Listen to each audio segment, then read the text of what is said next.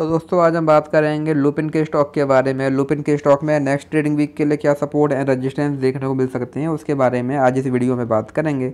हम अगर यहाँ पर स्टॉक की बात करें तो हम देखेंगे जो ये स्टॉक है, ये हमको पहले यहाँ पर लगातार क्लियर अप ट्रेंड में देखने को मिल रहा था। पहले हमको स्टॉक में हाइयर हाई हाइयर लो वाला पैटर्न यहाँ पर देखने को मिल रहा था।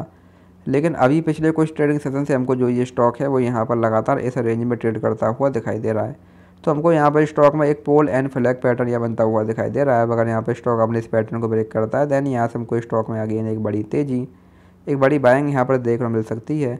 आज हमको यहाँ पर स्टॉक में अराउंड फाइव परसेंट की यहाँ पर एक बड़ी तेज़ी देखने को मिली है। तो यहाँ से अभी हम स्टॉक में बात करें, यहाँ से अगर स्टॉक में ये तेज़ी कंटिन्यू रहती है तो यहाँ से भी और तेज़ी की कंडीशन में हमारे पास यहाँ पर स्टॉक में वन सिक्स नाइन एट का पहला यहाँ पर रजिस्टेंस देखने को मिलेगा।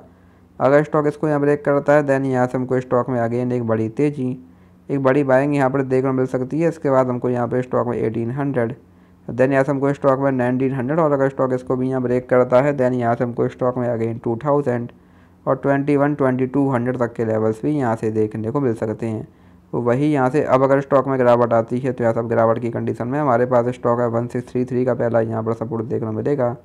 अगर स्टॉक इसको ब्रेक करता है देन यहाँ से हमको स्टॉक है वन फाइव फाइव एट और वन फोर सेवन सेवन तक के लेवल्स भी यहाँ पर देखने को मिल सकते हैं एज ए नेक्स्ट यहाँ पर सपोर्ट तो ये स्टॉक में कुछ इंपॉर्टेंट लेवल्स हैं, आप इन पर ध्यान दे सकते हैं, बाकी वीडियो में कोई बाय सेल होल्डिंग्स वाला नहीं है. वीडियो केवल एजुकेशनल पर्पज़ के लिए है, धन्यवाद.